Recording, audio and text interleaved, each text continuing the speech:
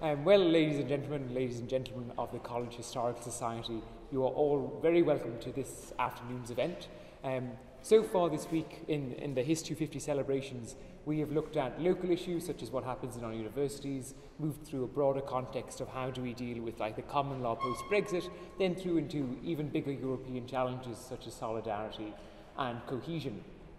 Today's focus, um, both in this panel discussion and the discussions later today, which will be held in the GMB, is on even broader issues.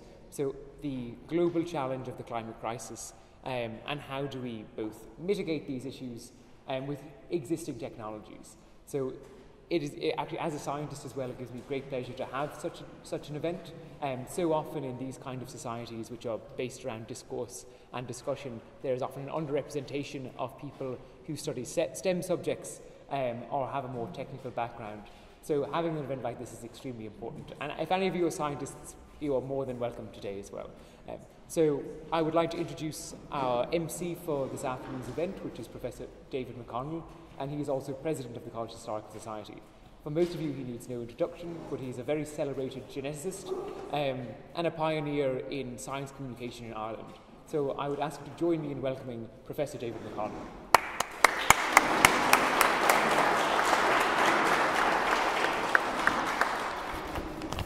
Mr. Auditor, ladies and gentlemen of the College Historical Society, and ladies and gentlemen, that's our formal way of saying things in the HIST. So it's wonderful to see you all here today, midday on a lovely day. And as uh, uh, the auditor said, uh, I have been a scientist, and I feel, as I think many of you, because you're here today, and many of you feel that science has an extraordinary important role. And engineering, let's be clear, we're talking about science, technology, engineering. And indeed, when I gave my inaugural address in 1964, I wanted uh, to uh, make sure that science and technology was there, and I invited a wonderful man called Lieutenant General Michael Joseph Costello, who was the man who was actually the manager of the Irish Sugar Company. And what was he doing? He was masterminding the introduction of a new industry to Ireland, making certain that we would become independent in the supply of sugar. We'd been through the Second World War, we knew what the problem was. And of course, he was a, an innovator. Amongst other things, the Irish Sugar Company installed, I'm told, one of the first commercial uh, computers in the country. So others can confirm that or not. So there are people here who know a bit more about it than I do. In any case, today we are faced with even greater challenges. The theme of this week, the underlying theme, has been challenges to democracy, challenges to our civilization. And to my mind, there is nothing that is posing a greater challenge to us than our environment and, of course, the role of energy in determining the way the environment changes. And uh, I was uh, in California at the time that uh, Silent Spring was published by Rachel Carson, showing us that we were producing ghastly waste, which was destroying all you know, huge swathes of industrial areas in, in the world, and indeed through DDT, threatening all birds of prey. I remember the Club of Rome being established. I remember the limits to growth. And we're talking about 50 to 60 years ago when we knew that we were damaging our environment in a very serious way. And of course, the Club of Rome drew attention to the energy problem, and the oil crisis took place in 1973.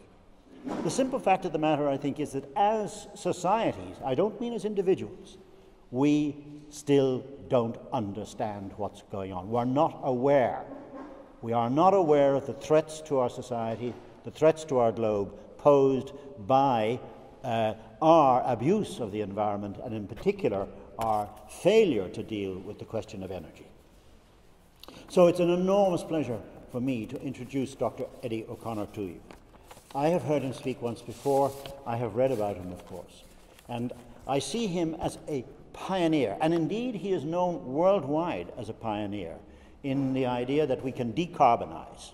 We can stop using oil and gas. We don't have to use them anymore. We don't need coal. We don't need peat. And by the way, he was formerly the head of Bord na Móna, and he was uh, responsible for beginning the move within Bord na Móna to wind energy in Ireland, establishing, if I'm right, Eddie, the first wind farm in North Mayo. And then he moved out of Bord na Móna and has now moved to become a global leader. Uh, he's described in Scientific American as a world energy policy leader. His companies, in particular Mainstream, uh, these are pioneering new technologies which will take us away uh, from carbon. And we need to know about them, and we need to understand that the technologies already exist, most of them, lots of progress still to be made. But I would like us to know more about, to feel that the technologies are there, and to feel that the challenges are not so much in the technologies as they are social and political and economic. Tonight we will hear Sir Paul Collier talk about the challenges to capitalism. It's very simple. Capitalism is based on the idea of growth. We live on a finite planet. Those two things cannot be brought together. They are paradoxical. They cannot, you cannot have societies based on an economy based on growth, growth, growth when things are limited. It doesn't mean we can't do better. There's a word called efficiency. We can get the same, but much, much, much, much more cleverly. In any case, I'm not going to go on any longer. You're not here to hear me. You're here to hear Eddie O'Connor show how we can, in fact, decarbonize our planet. Eddie, it's a great pleasure to invite you to sit.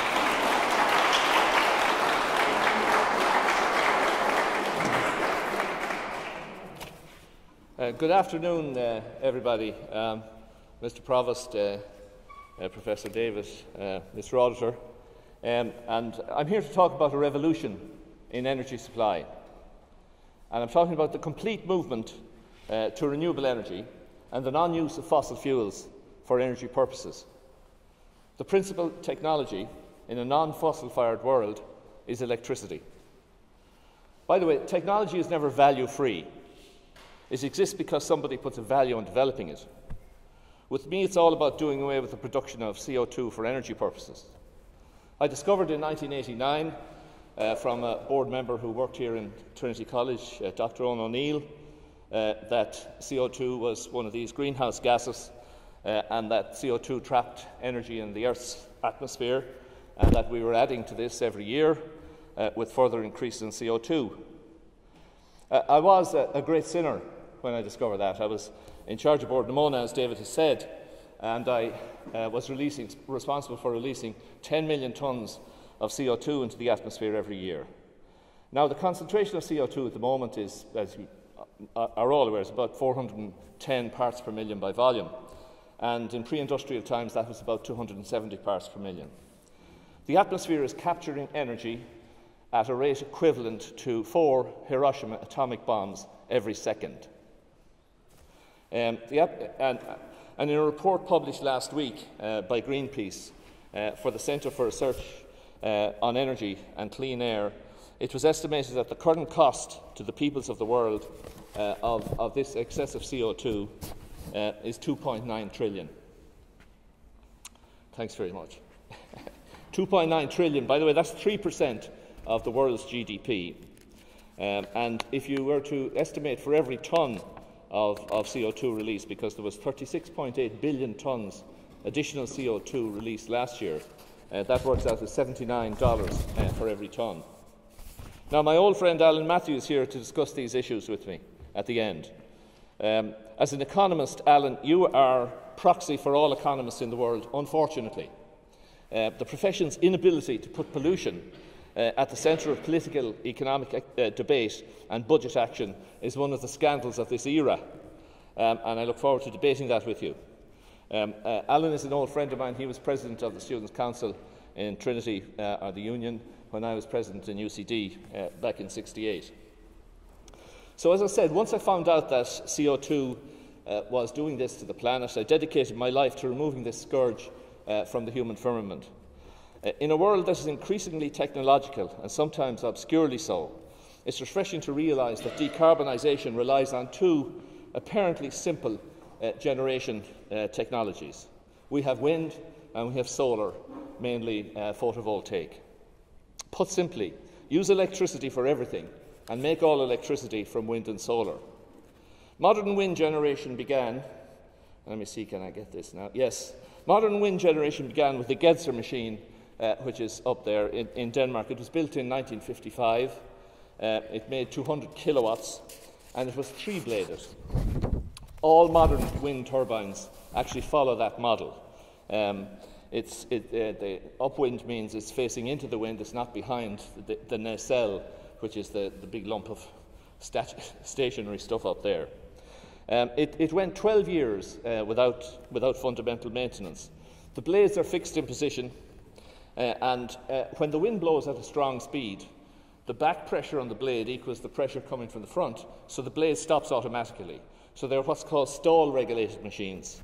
Now, they're a precursor of what, of what every machine is today, which is um, regulated by the, by the blade turning. Um, and uh, pitch regulated is what we call that.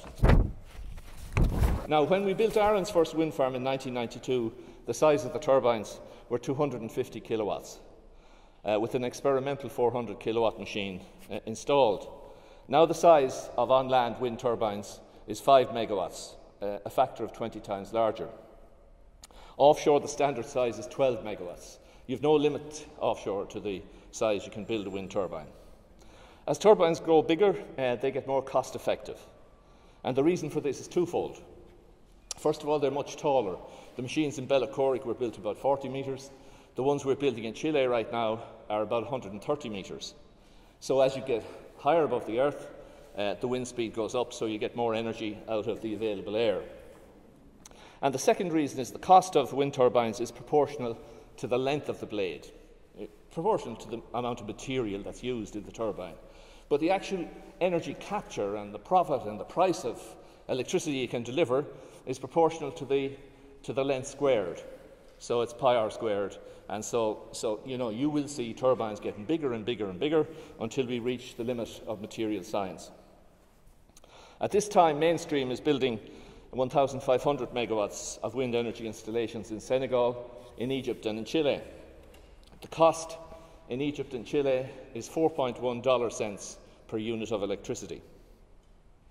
But the wind turbines are not just making cheaper electricity, they're making more grid friendly electricity.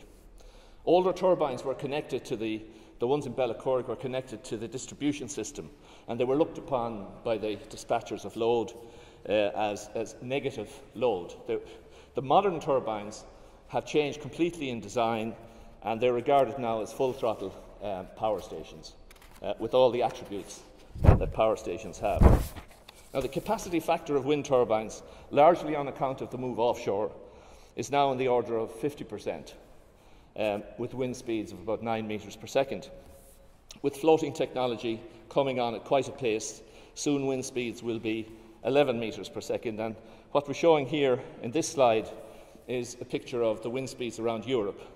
And you can take it that the darker areas have very low wind speeds, and the kind of bright green, verging on yellow, they're the very high wind speeds. And you can see that off the coast of Ireland and Scotland, you've probably got 11 metres per second, and they'll give a capacity factor of about 65%. And so, as an example of technology evolution, it was noticed that there are 30, 30 different designs for floating offshore technology now. Um, in, in 2017, aha, yes, great. Uh, in 2017, Equinor, the, uh, the former uh, you know, oil and gas company uh, from uh, Norway, uh, built five, five megawatt machines in 95 to 120 metres of water in the Buchan Deep off the coast of Scotland. And they've worked brilliantly, surviving eight metre waves and, and winter storms. Now, what, this, is a, this is an actual I don't know whether it's a picture or a depiction of, of, of, of that uh, five uh, turbines offshore, but they are floating. And despite all the, uh, the all the energy uh, the world of energy could throw at them, uh, the, the, deflection uh, of the nacelle, which is the, the part you know about 95 metres up, that only deflected by three degrees, which is amazing when you think of it. So it, it, it looks out into the wind coming at it. the lasers detect the speed of the wind coming, and adjusts the pitch of the blade so that it reduces that force that's going to cause the turbine to, you know, to, to go in that, uh, in, in, a, you know, backwards when, when a strong uh, gust hits it. Now there are other designs, um, and I will show you Just that this is the design from Principle Power. It's been installed in the recent past off the coast of Portugal, um, and this is another possibly more realistic view of it with some waves, um, which you, you, can see that it's, it's got three flotation devices there. And just to complete the picture, here's the kind of evolution that we've gone through. Uh, we did, um, I should say, install the first uh, offshore wind farm uh, in Ireland, which was on the Arklow Banks, as, as many of you will know. Um, and that's going steadily. We built that in 2003. I have to say, without the slightest help from the government, uh, not a grant in sight. Um, uh, ourselves and GE decided we were, it was worth doing, and so we did it, and it's still going strong. And it doesn't interfere with anybody's golf when they play at the European Club. Now, the story of, of photovoltaics uh, is equally dramatic. The, photovoltaics was very expensive up to 2009 until the Chinese began the mass production uh, of units based on silicon, uh, and, and, and they, they, start to flood the world with that. Another factor in the rapid deployment and the, and the cost digression of PV was that Germany introduced a, a support scheme. So PV uh, used to be flat fixed surfaces that faced roughly in the direction of the sun. Uh, but now they're, they're, they're, tracking the sun from sunrise to sunset. There's what we call single axis tracking. So they, they face the sun when it's low in the sky, and then as the sun rises, they go like that. And, and we are looking at capacity factors uh, of, of 30% now in really sunny areas such as uh, in Spain or Morocco or, or actually largely around the Mediterranean basin. In an unexpected development, as far as I was concerned, we're beginning to see floating PV uh, on lakes, reservoirs, and tailing ponds from mines. This is uh, one such uh, picture here of, uh, you know, I thought this was impossible because electricity and water don't like one another. Uh, but nevertheless, when, you when you're short of space and you have a nice flat area, they've, they've now actually mastered the technology of, of uh, putting. Uh, Is that up in the Shetlands? I'm sorry to interrupt. That, no, no, not the Shetlands. That's probably Thailand.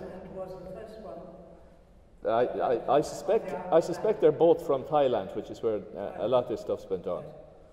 Um, anyway, we're, we're now using, um, to increase the capacity factor of, of uh, so, solar photovoltaics, they're being built on, on white areas, or they're putting in white gravel on the ground because they, the sun gets reflected back up from the gravel, and, and so they have what we call bifacial modules now, so that they, they capture some more energy uh, uh, the, from the radiation on its way out.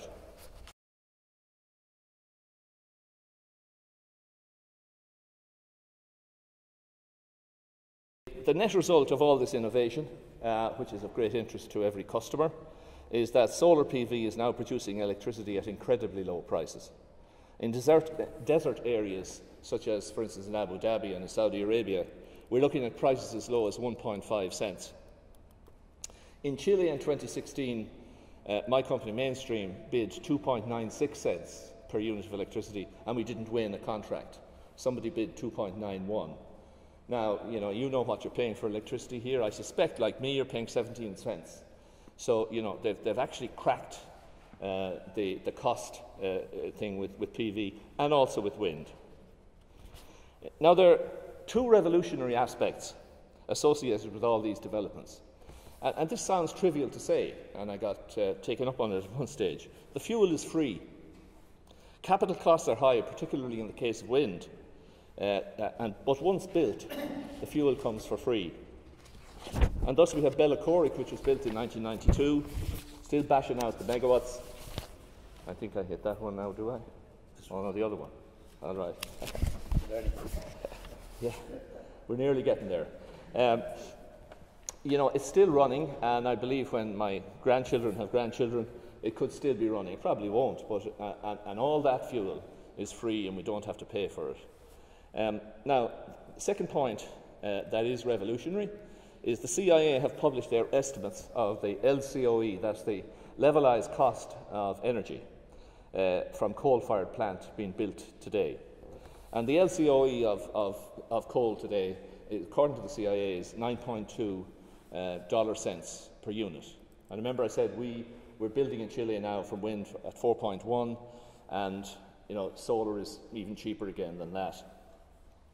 But that 9.2 cents contains no figure for pollution. So you're not comparing like with like. When you say wind costs 4.1 and coal costs 9.2, that's an unfair and ridiculous comparison because there's a real cost associated with this stuff going up in the atmosphere. Um, and when you, when you work it out, do a little bit of maths, you find out that that cost is actually 8.17 cents for every unit of electricity. So the real cost coming from a 9.2 nominal cost coal, uh, coal-fired power station is 17.37 cents against, as I say, our price for wind and solar. Now, why economists don't point out these facts to decision makers needs some analysis. Uh, they're all captured. Are they all captured by the oil industry? Now, I can't believe that Alan Matthews or, or most economists that, that I would come across are captured by the oil industry, but I know for a fact that in the UN and the United Nations and, and the World Bank and even Bloomberg, who's nominally on our side, that they don't actually take, they don't publicise and take this into account in decision making. Um, Chevron and Exxon have spent 3.4 billion uh, on convincing the world that global warming uh, doesn't exist.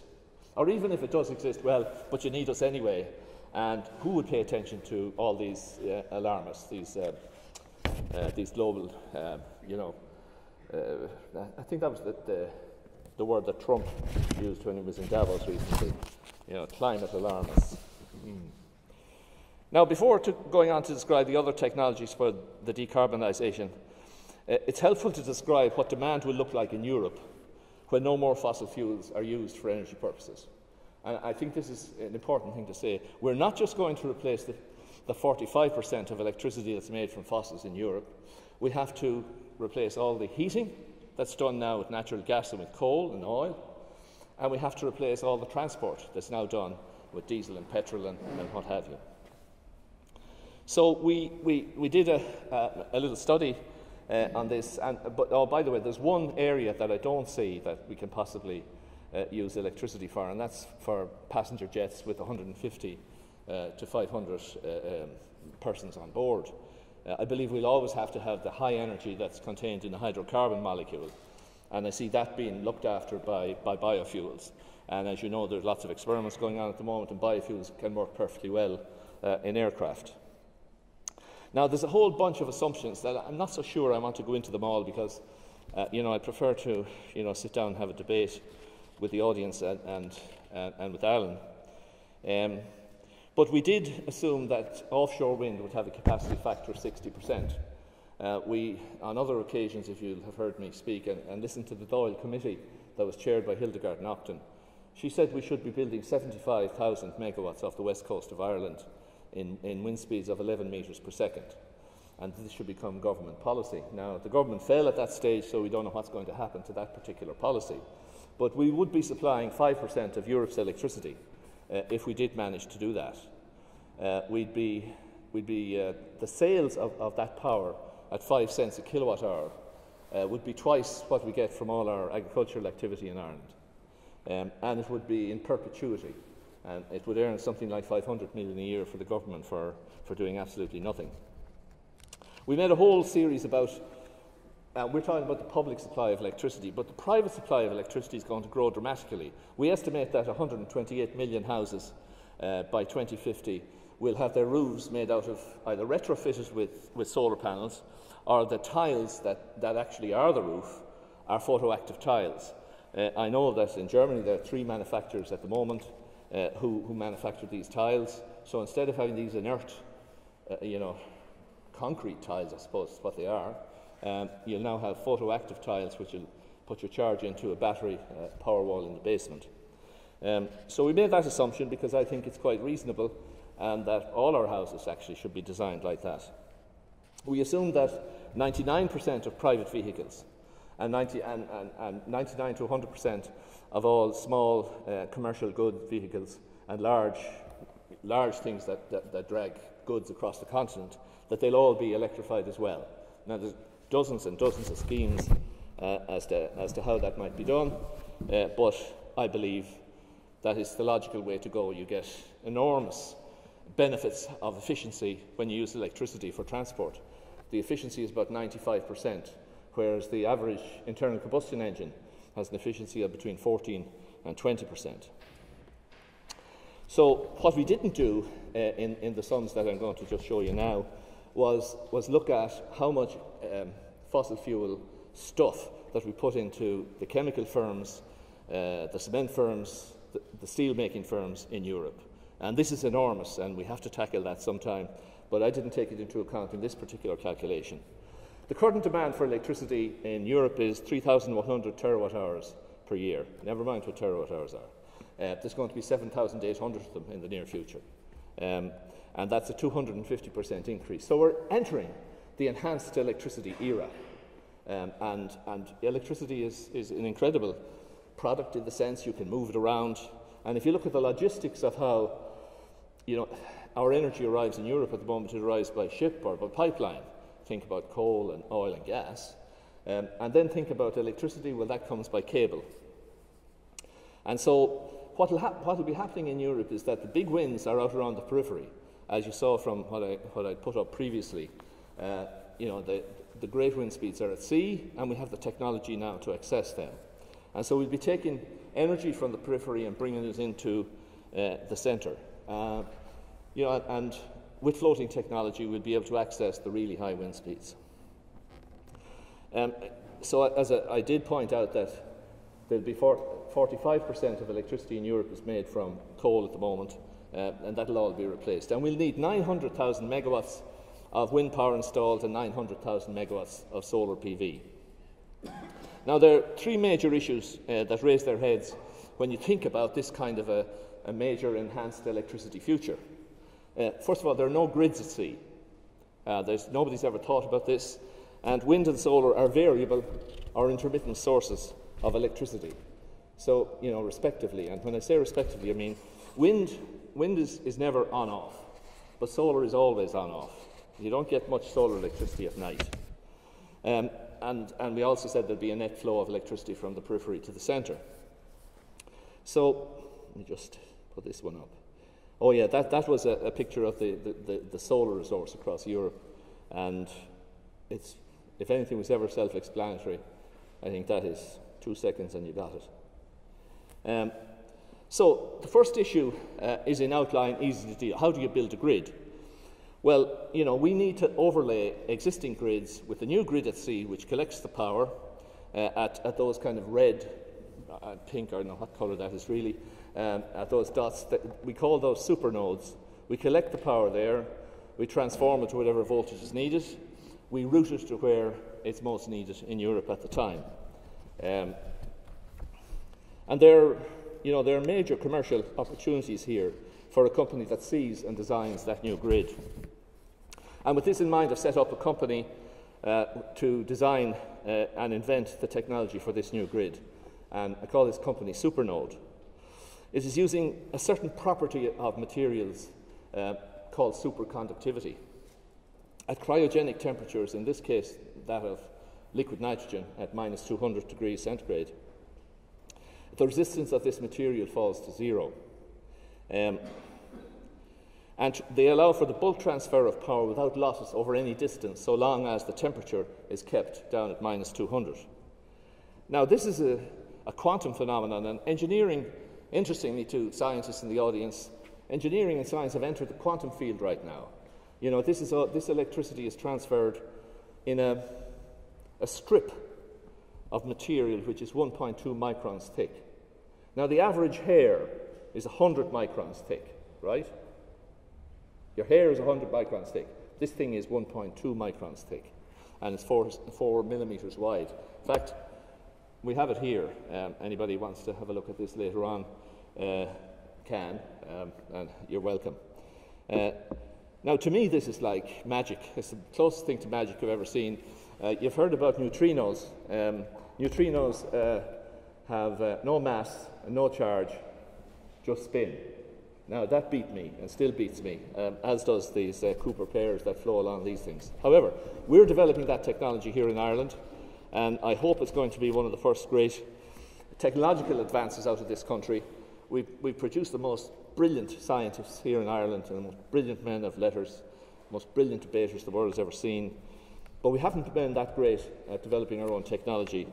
Well, my goal is to correct that now, and with this new company, we'll be seeking investors from the general public uh, towards the end of this year.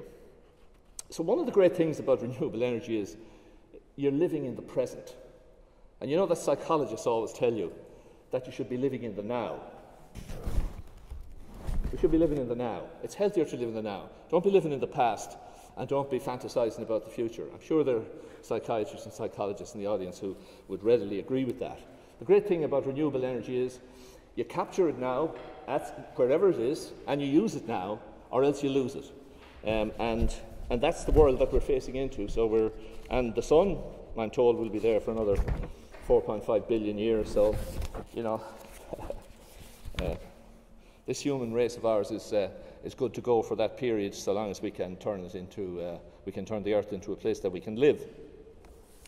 Now, to, th there are three ways to deal with the variability of wind and, and solar, and I think it's very important that any one of you, and I hope you will go forward from here with a, a zeal uh, to, to back your politicians and, to, and in your own lives to, to, to tackle uh, those who deny climate change. But you know, let's be, let's be clear, we can deal with the variability of wind and the, uh, and, and the on-off nature uh, of solar. And the first of these is to collect energy over a very large area. So I'd like you to conduct a little thought experiment and just think about if you had solar stations all around the world, right? And a very big cable joining the whole lot. No variability whatever in that power, except maybe the odd cloud. But you'd, you know, you, would so if you can collect your energy over a large enough area, you deal with a lot of the variability uh, of both wind uh, and solar. And it was that, um, it was that realization that in, in 2001 allowed me to conceive of the supergrid, which is what's on the slide in front of you there, that we could deal with the variability of wind by collecting it over a very large area. This was based on some research I read from the University, uh, I think it was of Essen in Germany, maybe it wasn't, but it was one, one, one excellent German university who studied this. And so we, uh, we, we conceived of the supergrid. That was picked up by Scientific American, which David referred to, which made me the world energy policy leader at the time. And right now, we're, we're setting our heart to build that because that will make us free of all uh, fossil fuels. Now, imagine if we, if we just go one step further from thinking of wind and solar as separate, imagine if we link as that chart shows you, uh, if we link the great wind resource of the north with the solar resource around the Mediterranean basin.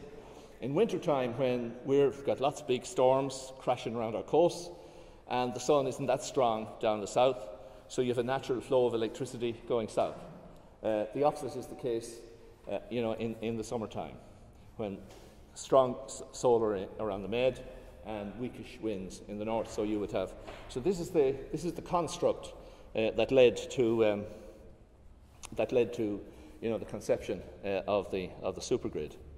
Now, the second way to deal with the variability of wind is to put in to have a large bank of batteries, uh, and this isn't so far fetched now as it as it would have even appeared as late as five years ago. Uh, Elon Musk uh, went to the rescue of South Australia, who got more than 50% of their electricity coming from wind, and he put in a 100 uh, megawatt hour big battery based on lithium ion. And you know, here's the way, here's what's happening to the cost of lithium ion batteries now. And I expect that you know, this latter black line could be even steeper in its descent uh, than is shown there. Uh, that is going to follow like PV and come, come hunting down at about 18% a year. The third way to deal with the variability of wind and solar is demand side management. Now, the technology is currently to allow the demand for electricity follow the available supply. Freezers, for instance, can be turned off and it's not going to affect the produce inside. Same can happen in fridges. Um, I once read that the little red light on, the, on your television, if they were all to be switched off in Ireland, to be hundreds of megawatts uh, saved. Heating could be turned down by one degree and nobody would know the difference. The way all this load management could happen is by way of price. At a pre-arranged price, um, which would be, uh, you know, going, the price would be going up when supply is down. Uh, thousands of freezers could be switched off automatically. I mean, we have those smart meters in place right now to do all of this stuff. So we don't have to invent anything new. So that's our third stratagem, if you like, for dealing with the variability of wind and solar. And we talked about how energy currently arrives.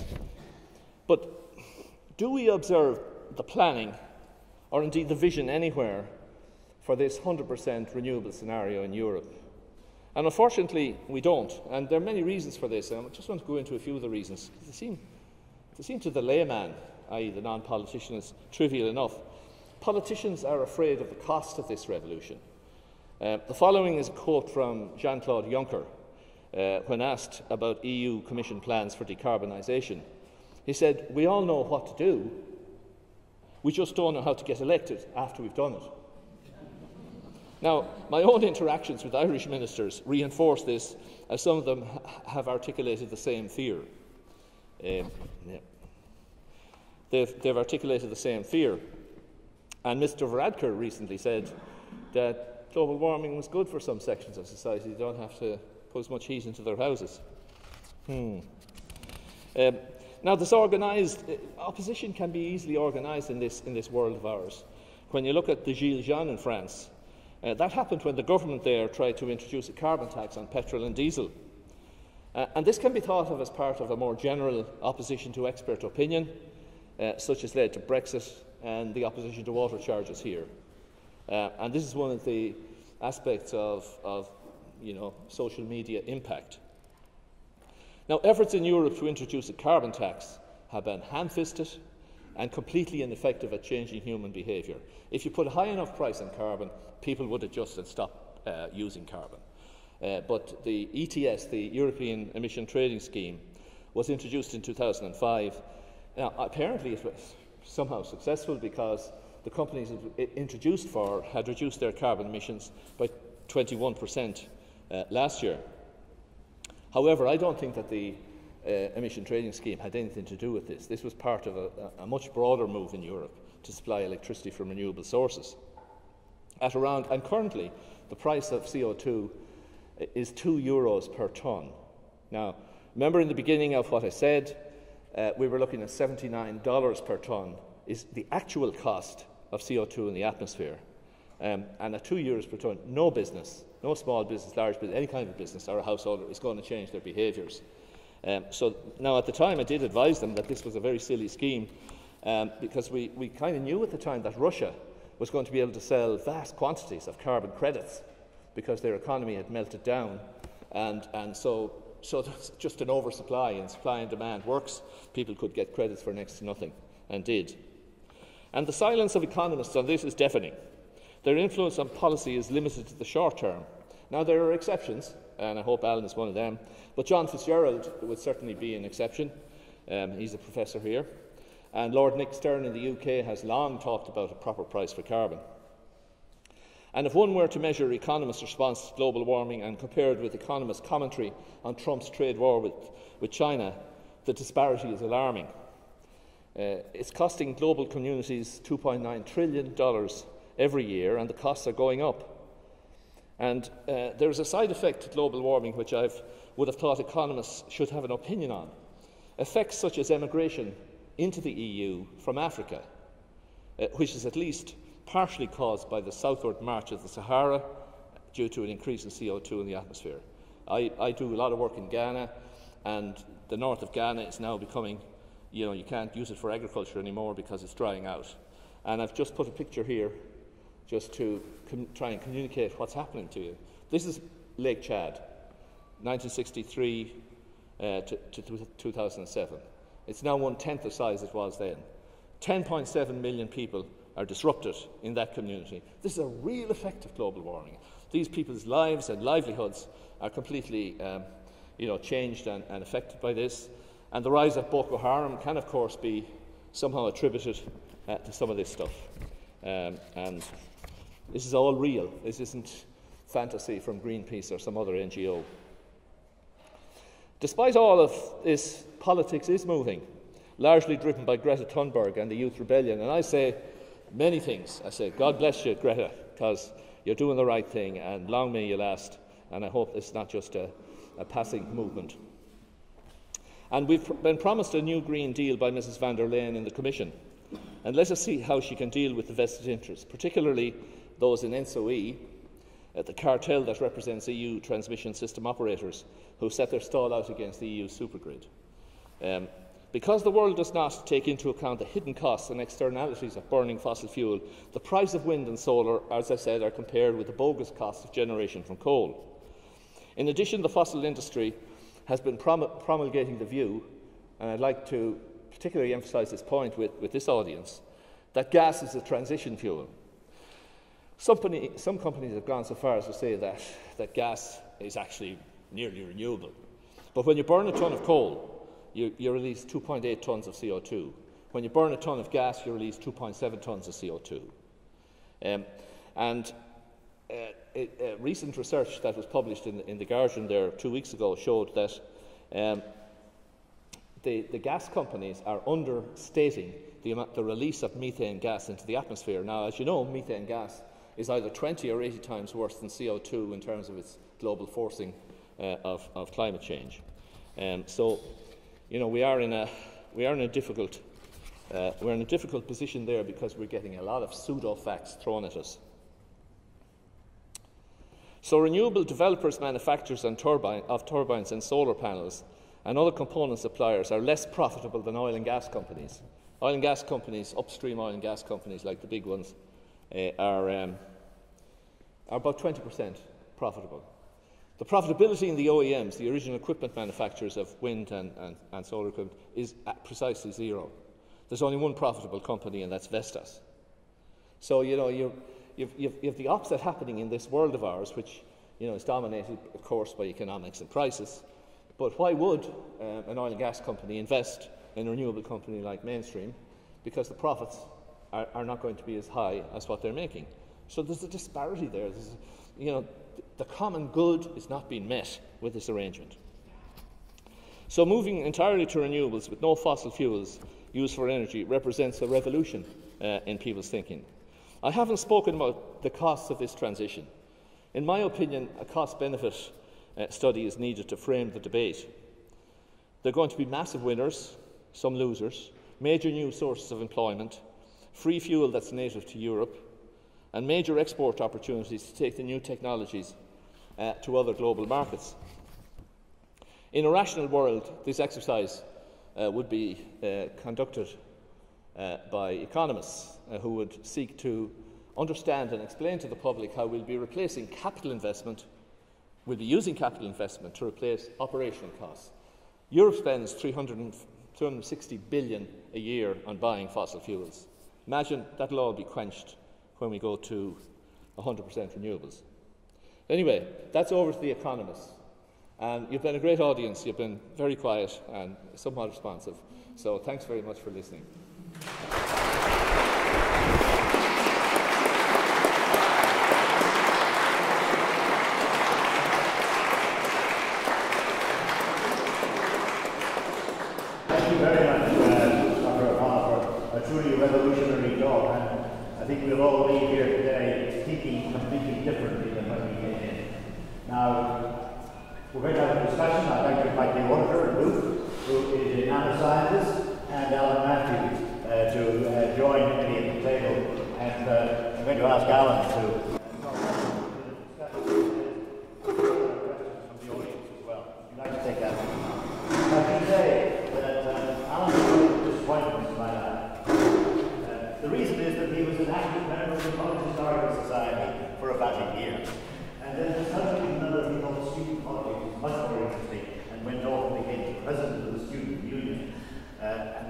that of course allowed him to meet Eddie O'Connor all those years ago.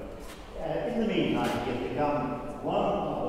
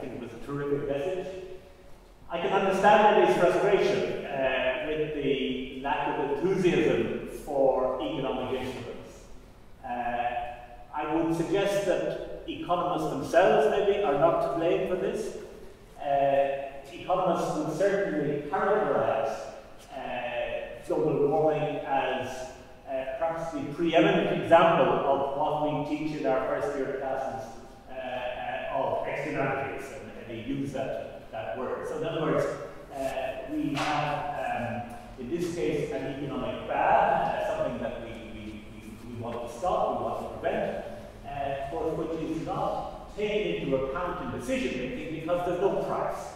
There, there, there, there, and he emphasized this that in the comparison between uh, fossil fuel energy and renewable energies, uh, the, the, fossil fuel energy uh, uh gets, uh, if you like, a hand on the scale because uh, the climate damages that are caused by that are not fully taken into account. Indeed, in many places would not be taken into account at all.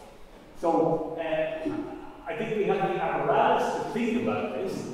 The next step, of course, is, is how to implement uh, um, uh, policies which, do try to level the playing field. And here we have essentially two main uh, instruments. We have uh, regulations, and regulations uh, can play an important uh, role. For example, we have seen, thankfully, improvements in the building regulations, so now new buildings have to be built to a much higher energy standard than the types of buildings that suspect most of us live in, which are drafty and, and, and, pretty inefficient at keeping uh, heat in. Uh, we see regulations playing an important role in driving fuel efficiency uh, in, the vehicle fleet. Uh, okay, we want to move to, uh, zero net emissions vehicles, but until that happens, these regulatory measures are important. But on their own, of course, will not be sufficient because we do need to change people's behaviour and economic incentives can play uh, a, really important role. Uh, we all know the impact of the plastic bag uh, in Ireland. It, it, it, you know, we just simply do not see uh, the misuse of plastic bags in supermarkets because a small, uh, relatively small price was put on that. So yes, we do need uh, to send a signal to uh, industries, to uh, those who are uh, polluting the atmosphere, that that has a cost. Um, and the, the, so I think economists would have that message. Um, there are, of course, debates within economics as to what that uh, appropriate cost of carbon uh, should be. And I'm very aware that uh, economists are indeed criticized because uh, sometimes the way we do the analyses uh, suggests that uh, costs uh, felt uh, maybe not even so far into the future, but into the future because we use discount rates. So the idea is that if you if you have to incur the cost today, we, know the value, but if it's in 10 years' time or it's in 20 years' time, we discount that and we, we, we say that's less important. And of course, that discounts the impact of damages on future uh, generations. So there is a huge debate within uh, economics uh, as to you know how do we uh, correctly uh, put a price on carbon. But I don't think uh, I would say there was almost no economist who would disagree with that fact that we need to do that, and it needs to be a much higher charge than than the, the charge that we have seen today. So, for example, in the Climate Council, uh, where, where uh, I'm a member, uh, we have recommended that um, uh, the, the, should go to at least 80 uh, uh, euro per ton by, by 2030. That's probably still on the, on the low side. Um, uh, and the last government was at least prepared to look at that, and they did increase the, uh, the taxes, you know, in the last budget to, to 26. We recommended it very proud, but there are these political issues. And I think maybe just a final point, if I may raised this really important issue to think about, which is how do we overcome the, uh, the opposition to change?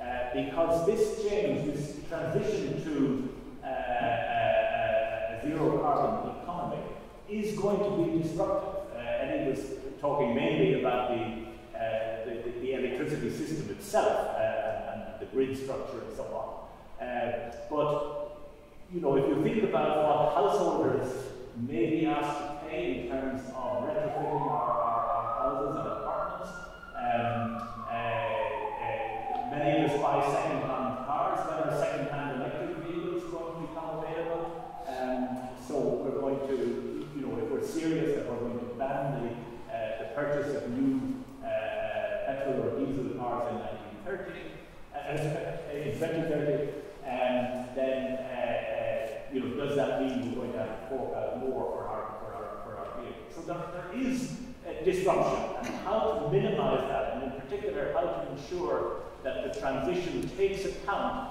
of the equity uh, and, and, and, justice dimensions is a huge issue. And actually, although economists do think about it, that is not really our strength. Uh, uh, because we would not, these are political decisions. How to distribute uh, that investment burden, how to distribute that, that burden of, of adjusting and, and, and, the investments that are required. Uh, so that is, it seems to me, the key question I took. Uh, the technology is interesting and it's clearly uh, really important, but that political question of how you you face up to the disruption and the, the, the differential costs. You mentioned my in agriculture and theory in Ireland, you know, one of the issues is, is, is, is the distribution of the burden between rural and urban uh, people. Uh, you know, in urban areas, potentially at least, we do have transport choices. You know, uh, we can cycle to work or we can, uh, we, we, can take public transport. That's not so easy. I'm not saying it's impossible, but it's not so easy in, in, in, in rural areas. So there are these distributional issues which do, apart from the vested interests, which certainly exploit these, uh, these, these differences, but uh, you, we, we can't simply overlook them. Thank you very much, Alan. I thought at this stage we might ask the auditor, Luke uh, to uh, say a word from the uh, perspective of the younger generation. I wonder how you responded to Eddie's uh, uh, presentation. First of all, I'd just like to thank Eddie and Alan for their excellent contributions this afternoon. It's been a very insightful and pair of talks. And I want to keep my comments reasonably brief so that we can open the floor to of time. Um, but one thing that I'm really struck me was how the public engaged the government and then how experts engaged the public. It was reminiscent of nothing so much as like irritating and sporadic topics from Trinity guest Wi-Fi and during presentations, and that they are easily dismissed commentaries so when experts say, well, here's a big technology that exists, but this is how we deal with it, if it's not convenient for people to hear, then it's like you hit escape button and then, The happens when the government system to the, to the public. So, and Thunberg's actions, as I alluded to, have been remarkably consistent, as like they have succeeded in raising awareness because they are regular items on the LGBT agenda. Every Friday is a strike for climate. Whereas what we've seen over the last 30 years is not so much a building momentum of climate outreach, but more like this um, on and off approach. So I think it was in the 2000s or around the time of Gore that there was the came out, and there seemed to be a huge energy around tackling the climate crisis. But that, that to, from my perspective at least, slip away. I think that is incredibly frustrating for younger generations to see, in that a huge amount of work had been done, and that momentum evaporated um, and had been rebuilt then uh, by the people we see coming up through the um, I think the, the second point that I'd like to make very briefly is how we disseminate scientific knowledge, um, and particularly the, how we disseminate existing like solutions that we have to problems. So I'm fortunate enough to work in a group with Nicolosi, who is a professor in material science department. She's a professor of microscopy and, and an excellent academic. Her current research is focused with microscopy and with energy storage devices. So she specialises in supercapacitors and battery technologies um, which, to address many of the issues that, that raised. So I she, she and I would probably disagree that we could have someday have um, planes that are have, have, have batteries with a high enough energy density that they can be powered by stored energy rather than combustion of biomaterials. And I think that Valeria is in my knowledge of science at the moment, in that she's able to very, very well make the public aware of her work. However, there are lots of scientists around the world um, who have solutions to these problems, but it's not either effectively communicated to the public or effectively communicated to governments or legislators or, or business people can properly enact these solutions. Um, so I think if, if part of tackling the climate crisis is tackling the massive problem we have in distributing information from the scientific uh, community to the general population in a way that's not just like headlines saying BuzzFeed uh, which which back you want to release or something like this, uh, but in a meaningful way that is very accessible. Uh, I, I, think that is actually one of the core issues that, that modern society sees, and with the death of the expert, or the death of respect for the expert. Uh, I, I think I'll leave my comments there, and I'd like to open question. Oh, Indeed. Uh, so perhaps we you are stuck for time. I have three questions, please, and then make a question rather than a speech, and we put it first of all to Eddie and the others to Ron. Would anybody like to raise a question? Indeed. I would like to comment on the panel protection. In fact, these are significant engineering projects building a large turbine, which in turn generates quite a lot of carbon. So how long does the turbine have to spin before it's incredible? Nine months.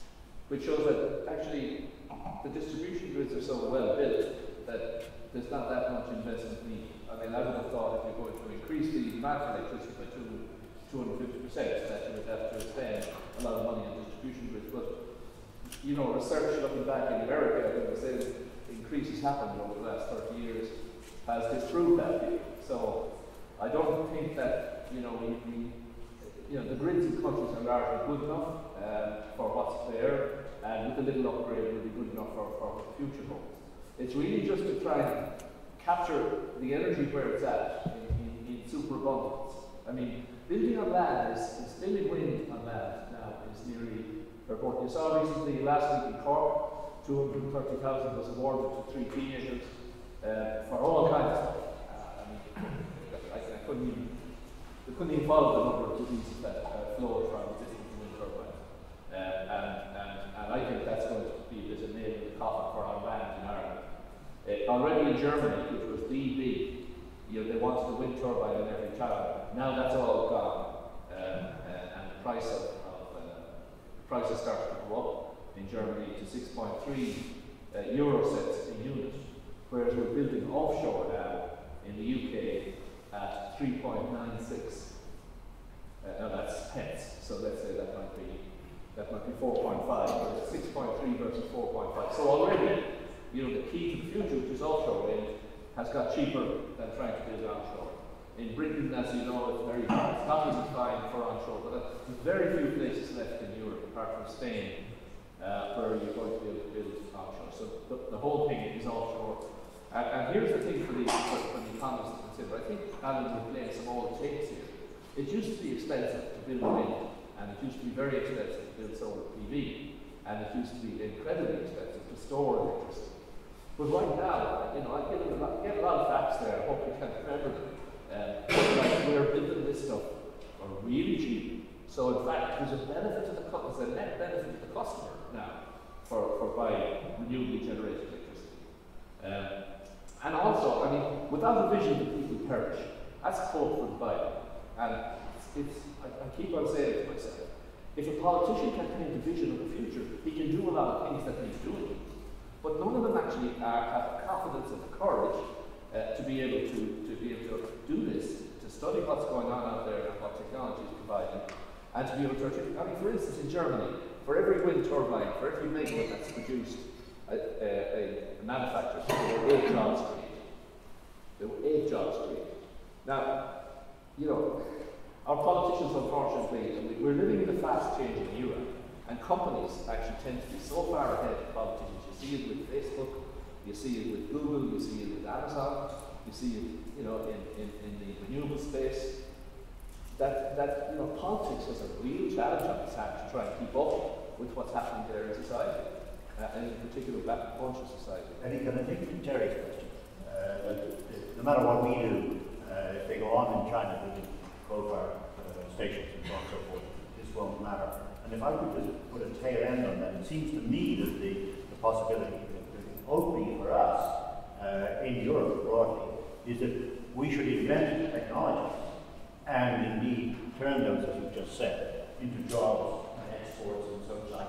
In other words, become the place in on the planet uh, which is actually inventing this new world, which I think uh, you are yourself uh, playing a major role in. Yeah, Perhaps you'd like to comment on, on, on this question. Dear Wood, I think it's a good question. Uh, I mean, I, I, don't fall into the category of person who thinks that China is, you know, the greatest leader for the planet. Uh, I, I see the Chinese as what uh, Deng Xiaoping and all his successors have done as being one of the great miracles, taking 800 million people out of poverty.